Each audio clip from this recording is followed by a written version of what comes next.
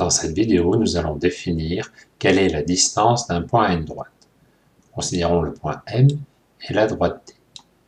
Qu'allons-nous appeler la distance du point M à la droite D?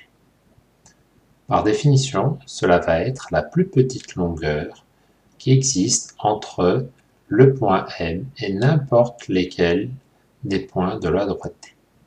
Donc je vais prendre un point P de la droite D au hasard et je vais mesurer la longueur MP. Voilà, je vois ici que la longueur MP mesure 8,98 cm. Le logiciel est précis à deux chiffres après. Si je vais vers la droite, la longueur augmente.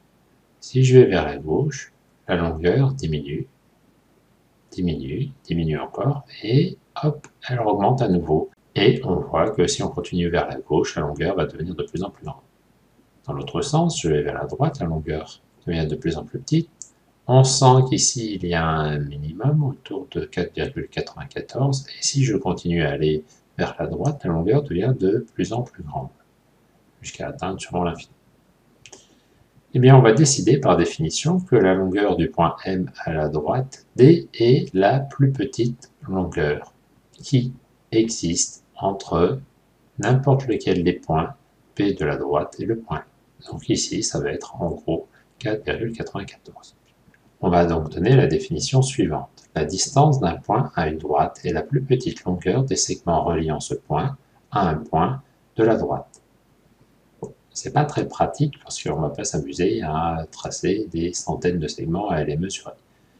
On va donc trouver une méthode, une propriété qui permet d'aller plus vite. Ici, on constate que cette longueur, la plus petite, la 4,94, correspond au moment où la droite MP est perpendiculaire à la droite D. Les mathématiciens l'ont démontré. On va retenir cette propriété.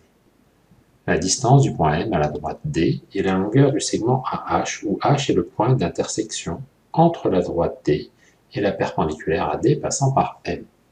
Alors comment je fais?